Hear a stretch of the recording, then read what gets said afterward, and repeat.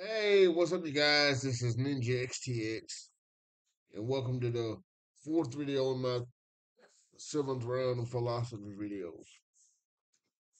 We've talked about positive energy, we've talked about negative energy, and we've talked about energy that is neutral. Now, let's talk about this. You have to make sure that the energy that you put out there is not being judgmental. Because when someone is telling you their life story, a lot of them just want you to listen. They don't want you to judge, they want you to give feed, feedback on how they can make their well positive. But we have to make sure that we're not sitting in a place of judgment because unless you are tapped to be on the jury for a criminal proceeding, or you have seen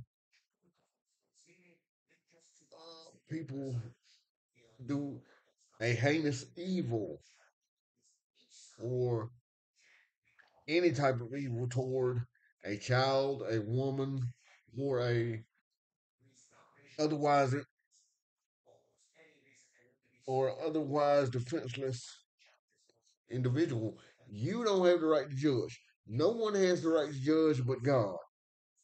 And once we put out energy that we have the right to judge others, we become the negative energy once you start to judge other people and you haven't walked in their shoes or haven't witnessed their struggles, you become uh you start to think you're better than other people. And once we travel down that road, that's a road of of degradation of the human race. I hope that made sense to everyone. I hope that touched someone's heart. I hope that made someone think about how they may be living life. Peace, take care of yourselves and each other. One world, one love.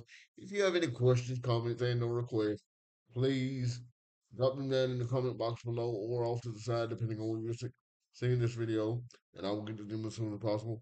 Thank you guys for watching. I will see you guys tomorrow for our next Chairbound Discreetly lesson at 11.45 a.m. Until then, take care. Goodbye. I'm out.